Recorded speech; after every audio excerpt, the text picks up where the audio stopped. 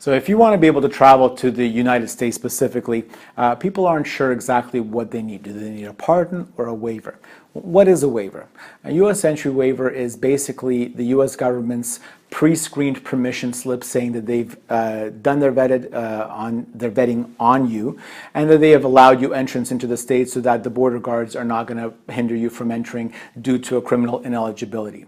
So if you have ever been turned away at the border, told that you need a waiver, or if you have an indictable offense on your criminal record, if you want to travel to the U.S., the only surefire way to get in would be to obtain a U.S. entry waiver. And that is something that we can process for you.